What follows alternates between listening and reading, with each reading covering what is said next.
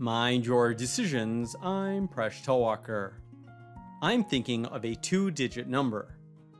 If I write 3 to the left of my number and double this three digit number, the result is 27 times my original number.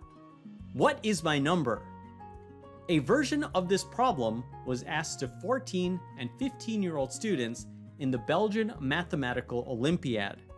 Pause the video if you'd like to give this problem a try, and when you're ready, keep watching to learn how to solve this problem.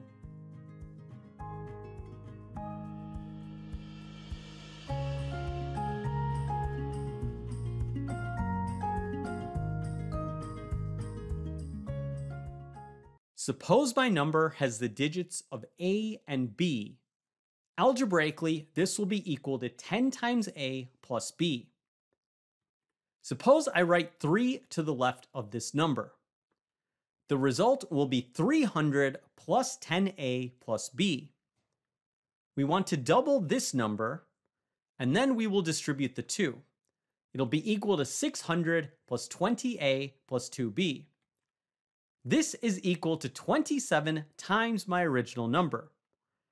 We then want to solve this equation. We'll first distribute the 27 and then we will collect like terms. We then divide both sides of this equation by 25, and we get 24 is equal to 10a plus b.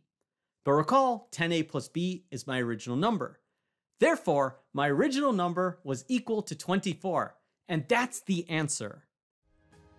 Thanks for making Mind Your Decisions one of the best channels on YouTube. See you next episode as we continue to solve the world's problems one video at a time.